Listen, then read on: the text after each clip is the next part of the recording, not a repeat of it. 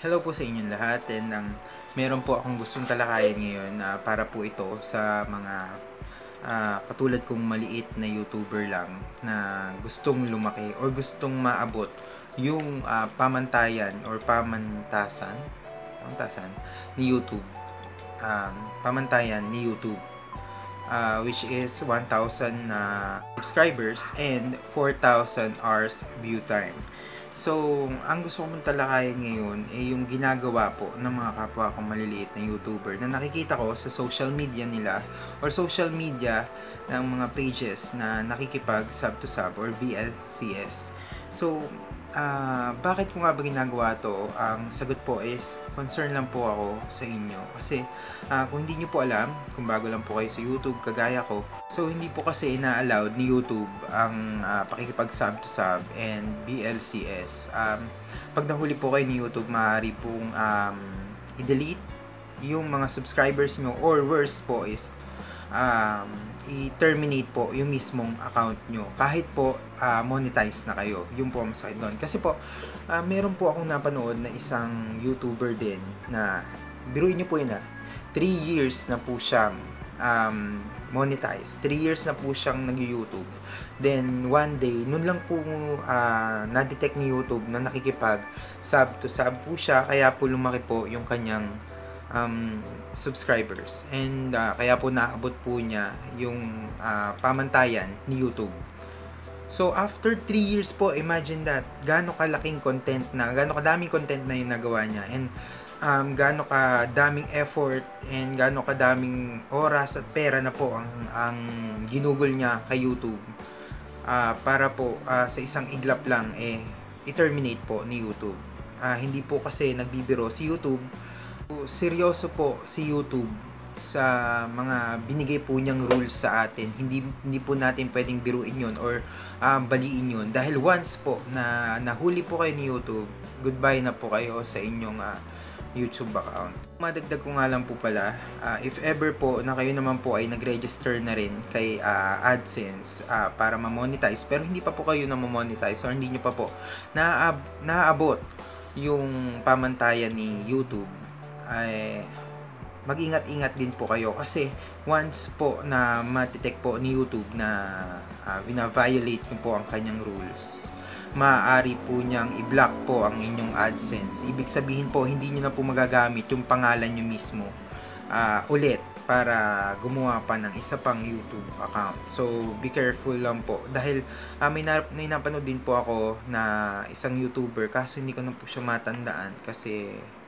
alam niyo na po, ah, nagse-search lang po kasi ko kung ah, ano nga ba yung mga bawal sa YouTube at ano nga ba yung pwede ko lang na gawin sa YouTube. So yung isa po na yun, hindi ko po kilala. Pero yung sinasabi ko po na 3 years na po siya na nag-YouTube. Tapos ah, nawala po or dinilit, terminate po ni YouTube yung YouTube channel niya is yung isa po sa sumikat or isa po sa nag-viral dati na si Pa Baby Girl. Ay, actually hindi siya si Pa Baby Girl. Siya yata yung nag-video.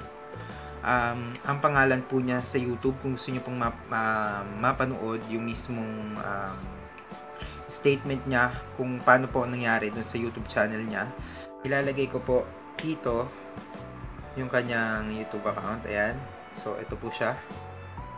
Yes. Siya po si uh, Belpo Garvez at si siya rin po yung may-ari ng um, ng Pabebe TV channel. Base po sa pananaliksik ko or panonood ko po ng mga videos ng mga YouTuber na nasampulan, ganito po nakikita ni YouTube kung nakikipag-sub to sub kayo or BLCS kayo. Hmm, kahit sabihin natin na hug to hug or kahit anong term mo dyan, um, maaari pong ma-detect ni YouTube yun.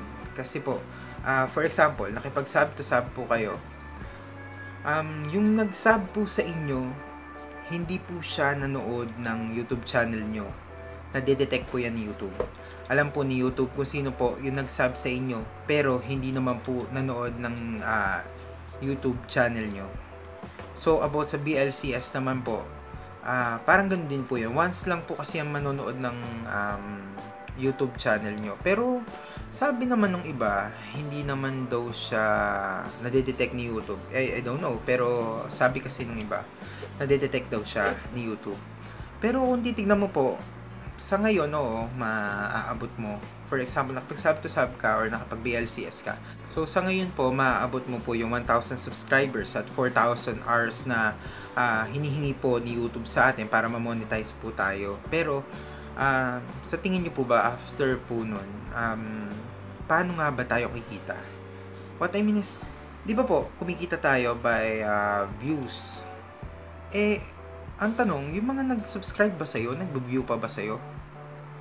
Yung mga nakipag-VLCS po ba sa'yo na once lang, na 3 minutes lang yung pinanood nila, nakikipag, uh, kumbaga, nanonood pa po ba sila ng content mo? So the answer is malamang sa hindi po is no. Depende na lang po kung talagang napakaganda ng content nyo. Which is sana nga um, napakaganda ng content nyo para balik-balikan ng mga nakipag-BLCS sa inyo. So, ang sad part po doon is kung hindi po, uh, hindi naman, kung hindi na po mag-view yung mga subscribers nyo, actually po, uh, nakaka-frustrate uh, isipin na napakarami yung subscribers pero wala naman nag-view ng content nyo. Create nga kayo ng create, nagbubuhos kayo ng effort, ng time, uh, ng pera para lang gumawa ng isang uh, content pero wala naman nanonood. So, monetize ka nga pero napakabagal mong uh, makuha yung sweldo mo. Di po ba? Napakahirap po nun. Nakaka-stress, nakaka-depress. Pero, pag organic po kasi yung pagdami po ng ating mga subscribers, kada kada isang sub po, masyado na po yung tuwa nyo. Kahit pa nadagdagan lang ng lima yung nanonood ng uh, content mo, pero nakita mo, unti-unti siyang nadadagdagan from 20 viewers, nagiging 30, nagiging 40, nagiging 50, o whatsoever, kung gaano man kalaki maging, yung aabutin ng mga views mo. Sobrang fulfilling po niya. Um, dati po, nagtry akong mag, siguro po mga 2 days. 2 days po ako nagtry yung na mag sub to sub. Nung hindi ko pa po alam na bawal po yung sub to sub. Then, um, from that day, nakakuha lang po ako siguro mga dalawa. Dalawa lang po na YouTuber na nakipag uh, palitan po ako ng sub. Then, after po nun, nag-research na po ako kung ano po ba talaga yung sub to sub. Then nalaman ko nga po lahat na hindi nga po pwede, ganito, ganyan. Sinubukan ko po talaga na hindi po talaga masilaw do sa sub to sub na ino-offer po nila sa akin. Kasi nga po, um, dumating po sa akin yung parang natatakot ako na uh, sige, maabot ko nga yung yung gusto kong numbers. Pero darating naman sa time na lahat ng pinaghirapan ko, lahat ng binuhos kong effort, ng time, ng, ng money, eh mapunta lang sa waste. Ma, kumbaga sa kanya, ma, mabaliwala lang. Kasi, uh, alam nyo po yan, bilang maliit na YouTuber, na katulad ko, napakahirap pong mag-isip ng pakulo. Alam nyo po yan, di ba? Lalo na, napakahirap mag-upload ng kada isang video. Please naman, uh, sa mga telco natin dyan. Napakabait nyo po. Inaabot po ako ng around, uh, so, kunyari po mag-upload po ako ng isang video lang. 9, 10, 11, 12, 1. 5 hours po ako naghihintay para lang sa isang video ko na uh, ang length lang po niya kuminsan is 3 minutes. Kuminsan nga po um, lesser pa ng konti doon pero inaabot po siya ng ilang oras talaga. So, nanghihinayang po ako sa sa mga YouTuber na wala na po silang naging choice kung hindi makipag sub to sub. So, alam ko po na gusto po nating lahat na uh, tumulong po sa pamilya natin, na tumulong po tayo sa mga mahal natin sa buhay. Pero um, mas masarap po yung makamit mo yung isang bagay na talagang pinaghirapan mo, na talagang alam mong deserve mo yung isang bagay na makakamit mo o yung uh, alam mo na yung inaabot mo dun sa mahal mo or sa pamilya mo na pera eh talagang uh, hard earned money po talaga, di ba? Uh, kaya po sa mga katulad ko pong maliliit na YouTuber diyan, um, tsaga-tsaga lang po tayo. Wag po tayong mawalan ng pag-asa na um, baka umabot ang isang taon na hindi pa tayo um, maka, mapunta doon sa 1,000k subscribers and 4,000k hours of views or viewers eh sa tingin ko naman po one year is ma- masyado pong ma- mahaba na po yung panahon para po makagain po tayo ng mga subscribers and ng mga manonood po sa atin. Basta lang po, ang maipapayo ko lang po is magtulungan po tayong maliliit na YouTubers. Hindi po sa sub to sub, hindi po sa BLCS, kundi magtulungan po tayo na gumawa ng isang community na magbibigay kung paano nga ba uh, palaguin, paano nga ba natin uh, uh, paano nga ba tayo magkakaroon ng isang topic na gugustuhin ng mga manonood natin na, na talagang uh, magsusubscribe yung mga viewers natin pag napanood po nila yung video mo. Kung hanggang ngayon, tinatanong nyo pa rin kung hindi ako makikipag sub to sub at hindi rin naman ako makikipag BLCS or hug to hug or whatsoever na gusto nyo tawagin doon, eh, paano ko marireach yung um, 1,000 sub and 4,000 hours na views, viewers. So, ang nakita ko pong solusyon po doon is, number one po is, share mo po yung channel mo sa social media mo. Sa Facebook mo, sa Twitter mo, sa Instagram mo. Kasi po, ganito yan, sa YouTube, maliit lang po yung abot natin bilang maliit na YouTuber lang po tayo. Pero sa Facebook, alam ko po na umaabot po yan ng 5,000 na katao po ang makakapanood po pag i-share nyo po sa Facebook channel nyo. And pwede rin naman po kayong uh, makipagtulungan sa mga kapwa po nating mga small YouTubers din na uh, i-share mo yung uh, YouTube channel niya sa uh, wall mo sa Facebook or sa sa Twitter o sa Instagram, then i-share din niya yung YouTube channel mo and yung link mo dun sa may uh, social media niya. Yun. So, in that way po, uh, magkakaroon po tayo ng mga organic viewers at saka magkakaroon pa po tayo ng totoong subscribers po talaga na matatawag po nating ito eh um, sumusubaybay sa bawat uh, upload po natin at sa bawat contents po natin. Um, isa pa po is yung tinatawag po nating shout out. So after this vid po, mag-shout out po ako sa dalawa ko ring uh, co-YouTuber na kasama ko sa group namin bilang small YouTuber.